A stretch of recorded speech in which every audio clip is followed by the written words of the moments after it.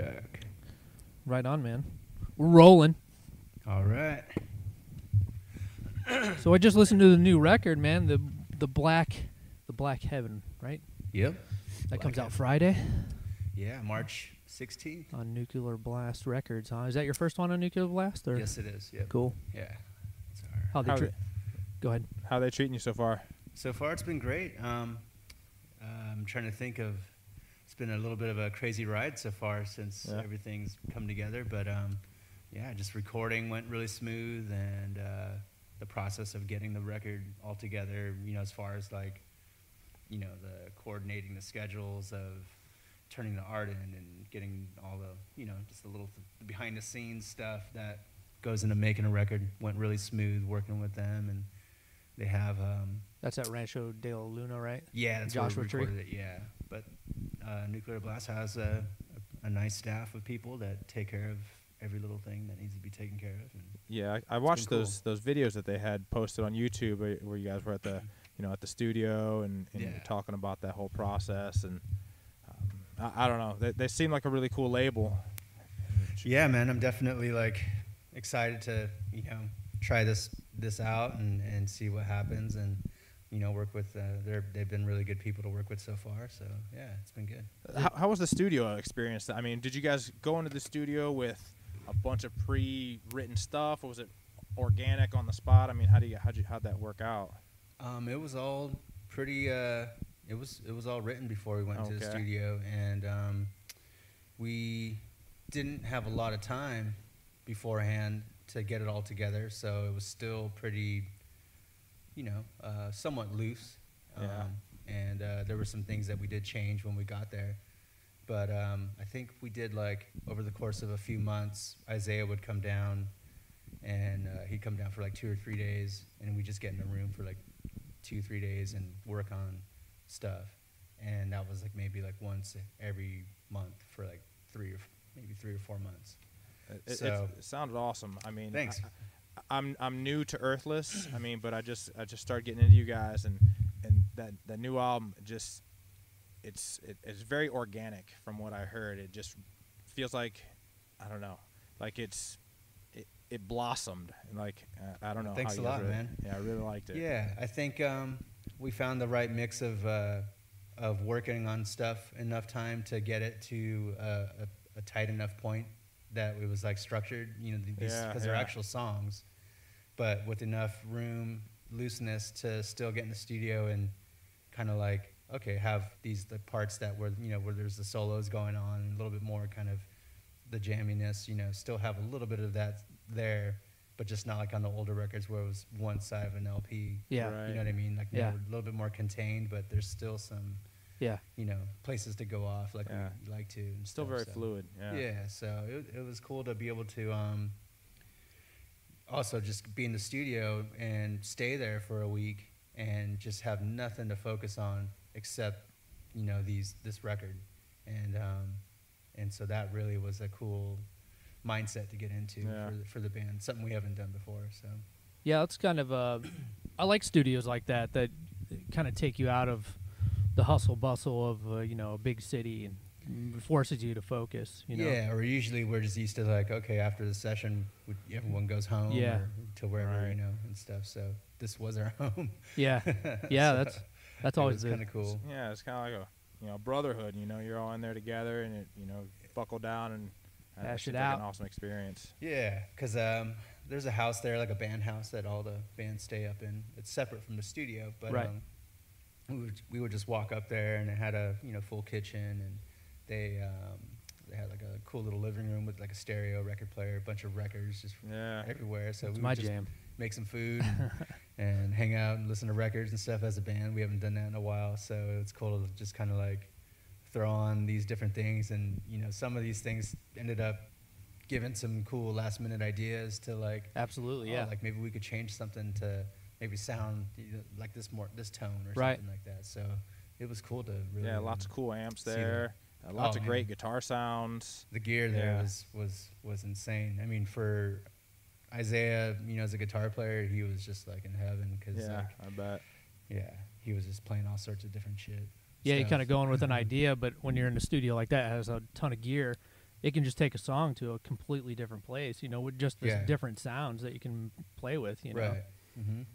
Yeah, that's Um, another thing that was that I always forget about in the studio is that like sometimes your own gear isn't always the best sound in the studio. Right. For you know what you're doing, and there was a couple songs where his uh, his Stratocaster, which is pretty much his main go-to guitar for Right. the whole duration of the band, it's always come in and out. You know. But um, you know, on the one song, it, it just wasn't sounding as full as it should have, and so I think there was a white Gibson uh, Les Paul Jr. that was there that we were like, oh, let's try that one, and that was just like the perfect, Yeah. like really full, thick sound, and it was cool, man. He was so stoked, like you- playing different shit. Do you guys layer guitars and do a bunch of different tracks usually when you're playing, or do you keep it to a live? I mean, a little bit of both, you know. There's like the solos and stuff are definitely there's different stuff going on at different times. But Right. For the most part, there's always a, a just a really basic raw like track. stuff, right. So, yeah. and then you just do overdubs Yeah. to that raw track. So you guys are all playing together in a room and Yeah. recording all at the same time. hmm just That's live. cool. I kind of figured it because I mean you, you you have that jam element, you know, which Yeah. is so appealing to us. Um, I'm fairly new to Earthless too. I've heard about you guys for a number of years, and I listened to the last record from the Ages, Mhm. the instrumental record, Yeah. like six months ago, and I was like, oh, I'm on board with these guys. Okay. And I, I got turned on. I don't know if you even know this, but the the comedian Bill Burr Yeah. gave yeah. you guys a big, awesome rant on his podcast. And he's like, yeah. guys, you guys gotta go. He he. You guys blew his mind. He he saw you at the uh, Troubadour, I believe. That's right. Yeah. You know, I actually met him that night. Um, Oh, he came out and said hi.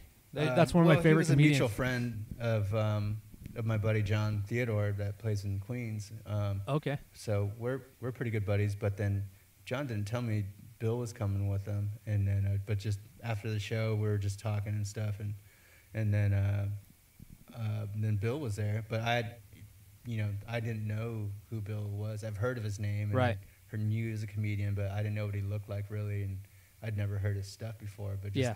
The few minutes that I was talking to him, I already knew this guy was like The shit, hilarious. yeah. he is hilarious. He's a so then dude. to hear the the podcast, you know, a little bit later was was pretty funny. Yeah.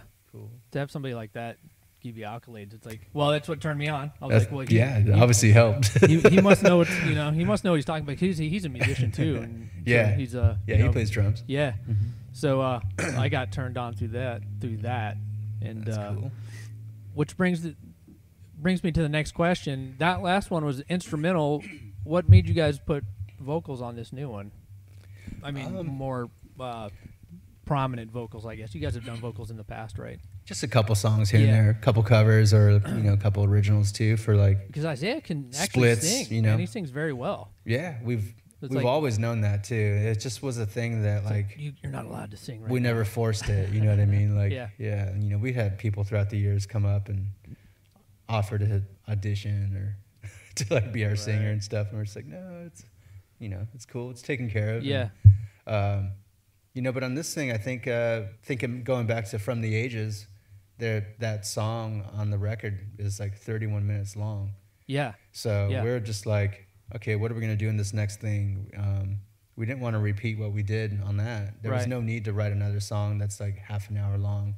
We probably couldn't have or didn't have the time to. I mean, that was a song that was from the era of the band when everyone lived in the same city and practiced a couple times a week, two, three times Right. in a week, and um, we didn't have that convenience to just Do you know 30 minute jam. take time to build yeah. it's actually a pretty structured song if you know for us like there's parts that we were just like these you know really goes in in a certain time but there's lots of space in between it to go and wander off and come back to these parts yeah. but it takes time to make those things and yeah. we didn't really have that convenience this time so and also we just kind of were on the board you know the same board to mentality to just try this different thing you know and um, we didn't think it was going to be four songs with vocals but um, we thought maybe two songs like two, isaiah had two ideas right off the bat and then um, once we were actually in a room playing these other two things came up and uh, we were stoked on them so When I was uh, researching you guys, uh, there was something I wanted to ask you. Uh, it said that you guys kind of have this this the stoner rock label put on you guys, but you guys don't really embrace that that that I guess label because I don't know. Is it, is there like a reason? I mean, obviously you guys. I don't think you guys are stoners, but it seems like that type of music. You know, don't know how to say this, but it, it's a very it's a cultural thing, and even if it's not that label of the the music isn't a bunch of potheads, Mhm. that that that kind of vibe is always seems like a, a I don't know cool vibe. I like stoner rock, so I guess why Yeah. you would sh- not want that label kind of Um, I think just true? I mean, we don't you know honestly we don't think about it a whole lot but No. uh you know uh, to but to us though what we grew up with um it's like we don't i mean we like the bands that kind of um started that whole thing like Yeah. you know nebula and fu manchu and stuff like that isaiah played in nebula for a year or so he played bass with them and Cool. we're buddies with those guys but i mean i don't think we sound like those guys at all really um yeah. we you know but we don't really call ourselves a psychedelic band either you know what Yeah. i mean um, just the stuff that we started the band influenced by was you know more um, like the heavy japanese blues Right. obscure bands and like, dr- like krautrock which is you know the german Gotcha. stuff and just like the classic rock stuff Yeah. but um that that's definitely the vibe in that. yeah Which is- so I guess genres are. I mean, being a musician myself, I mean, I've had people ask what my band sounds like, and I can't even fucking tell. it, them, it is you know? hard. Yeah. I mean, I just think stoner rock is just kind of such a bland term, like for me. Like it I just kind of means like, you know, very simple, tuned down riffs. You know, that's what I kind of picture. But like, You you, know, like if people want to call us that, that's cool. Yeah, we but don't, I- we don't really I, care. I guess it's the way you look at it. I mean, 'cause when I think of stoner rock, I think of you know Led Zeppelins and Clutches and, and things of that nature. So Yeah. I guess it's label. What we don't need no fucking stinking labels. It's Yeah. subjective. Well, it, it, it was. It is. It was, you know, made by the labels and, the- and for a way totally, to it's an easy, Yeah. it's an easy marketing thing, and you know, that's that's fine if people want to call us that. You know, they can call us a coffee rock band. That's cool. That's Yeah, like, whatever- we drink a lot of coffee, man. so. why, man? That's I, I would, that, that would be an honor. It's like coffee rock. That rocks. Yeah. Yeah, I'm down with that. Like Start your own genre, man. barbecue Shit. psych or something. Yeah. I don't know. We love barbecue too. So Fuck yeah. I could live on both of those forever.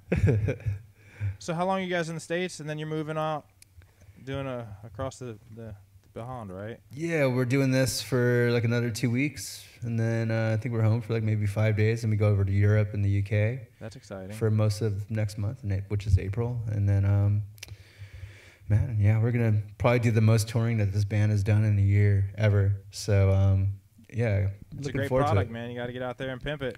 Yeah, you know, I mean, for me, um, I'm trying to think. You know, we're we're here at the Grog Shop, and uh, on the window there, Yes, there's a band called Hot Snakes, and my face is on that poster. And they just played here a couple nights ago. I wasn't with them, but um, I I played in that band. I played another band called Rocket from the Crypt, and then uh, I play in another band called Off.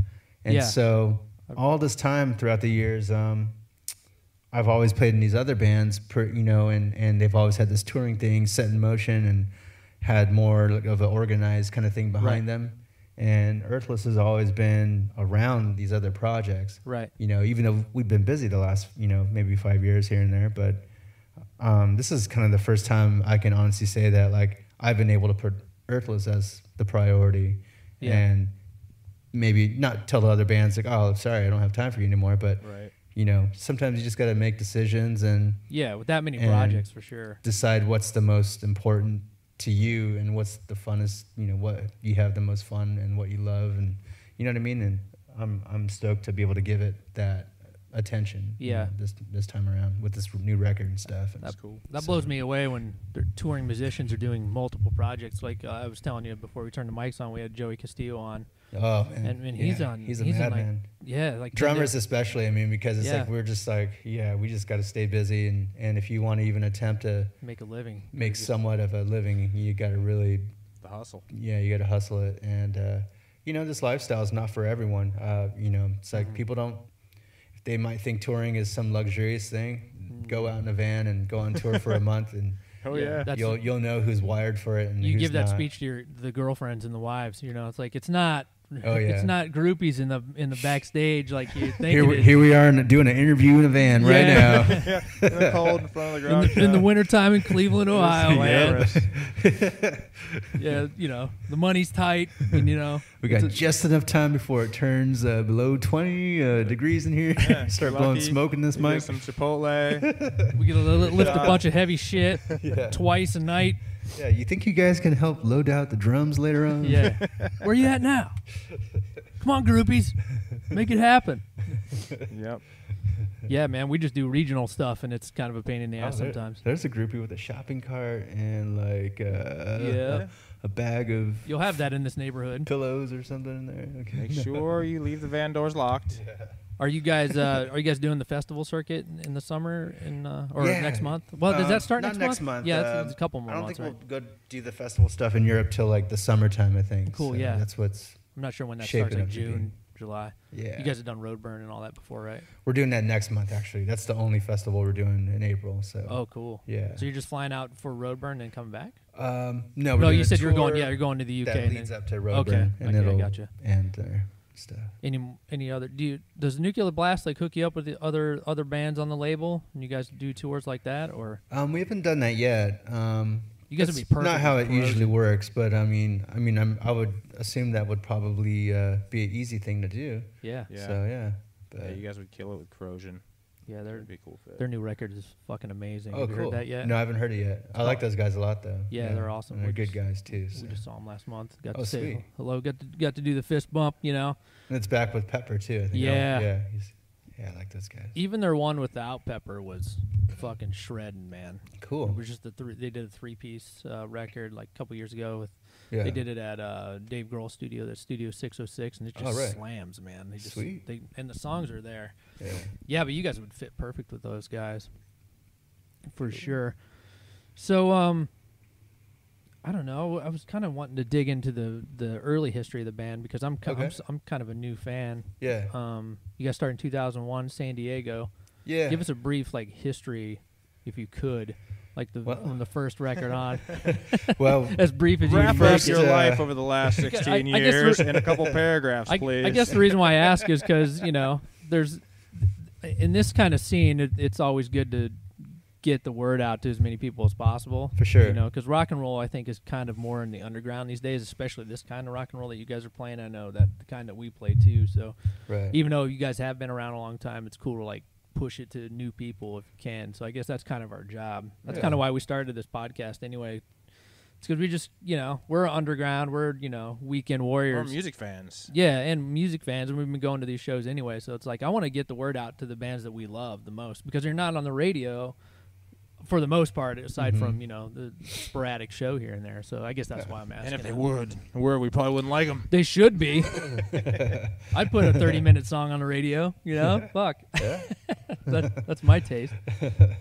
So, brief history of the band. Uh, yeah, we first started playing together in 2001, but um, you know, even back then, Isaiah didn't live in town, so it was kind of just a couple times when he was around visiting. Um, fast forward a few years, we didn't. Our first record didn't come out till 2005 Okay. because I was touring with Rocket from Crypt a lot, and then uh, then we signed to Tee Pee Records around 2006, 2007. Okay, We yeah. Came out with the second record then. Started touring around that time actually. Okay. So there was a lot of dead, a couple dead years in there before um, Right. 2007 really. So since then, that's when we kind of been doing more activity, you know, touring and stuff. Uh, but yeah, we uh, have two records on Tee Pee, a live record on them. Um, we've toured the world a bunch of times, been to Australia like four times, Japan. Um, yeah, we've been pretty busy, you know. But yeah, this uh, first record with Nuclear Blast is kind of just a, another step. And Is this a uh, multi album deal or you just doing? yeah, I think it's a like time? two. Oh, cool, At least yeah. two. Not two, nothing too crazy, but yeah. So- Right on. That sounds good. Again, man, it's it's a great album. I love all the songs on them, and uh, hopefully you guys Thank come you. back through town soon. Oh, definitely. Yeah. Yeah, we were here like, I'm trying to think. It was probably a little over a year ago. Yeah. Or so, maybe two years ago. I've always heard the name, you Mhm. know, around in the circle because I mean we're in that, you know, like you said, you know, Clutch and COC, and you guys Yeah. are circling in that orbit. Right. So I've always heard it. I, I think it's just a matter of there's so much to listen to now. You no, know, It's like totally. you- yeah. and I get it's obsessed. so easy to Yeah. be able to listen to it. You know, you can Yeah. just go anywhere. And, and I get obsessed with music, it. and now I've been listening to the record for the last few days, and it's like, okay, I'm gonna be listening to this for a couple months at least, you know. cool. But uh, yeah, that's that. You know, I just equated to that, but um, I'm hooked now, man. I'm down. Sweet. I'm good to go. So I'm curious. I'm, I've just happened to, to look at the, the, the radio there. What is uh what is Earthless jamming when they're on the road? What what are you guys listening to? Oh man, we're so all over the place. Uh, on the way here, um, we listened to uh, uh, some dub reggae stuff, some really like Oh, yeah. heavy bass, echoed out dub, um, and then we listened to Discharge, uh, some good old early '80s hardcore, and then um, we listened to. Um, some old, really obscure psychedelic rock. Oh, let me hold on. You can here, come in. Get a key. Yeah, we're good. We've been inter- interrupted many a podcast. Yeah, that's that's the life. Yeah, no worries. No, come on in. You want to talk? it's fine. that was our tour manager there, and um. Oh, yeah. Yeah. Uh, we um, what else? His voicemail's not set up, so Yeah, we, him know we that. tried. It's all, it's all good. It's like we'll just get one of the dudes and do Yeah. it, do it old school style. That's all I can think of of what we're listening to on the way Oh, here. that's cool, but man. I Yeah, was just getting an idea. we're all over the place though, like Yeah. jazz and all sorts of stuff. How'd you start playing drums? Or do you play other Um, things other than drums? Or you just Yeah, I play drums? guitar. I kind of just mess with whatever. Are you drums like all the bands forever. you're playing? Yeah. Okay. Yeah. Um, how did I start playing drums? Uh, I just had that question too Kiss. the other day. Yeah, yeah, just being a Fuck yeah. like five years old and seeing first Kiss. concert we went. and, We were uh, 13 years old. Kiss. Sweet. Van Halen, Deep Purple, Yeah, all Grand the- Funk. the just. My, you know, I had uncles that listened to just all that stuff. So Fuck yeah. that's kind of how And it fell never into left. it. Well, I don't know. What do you think? You want on shit. you want to wrap it up or? Sure.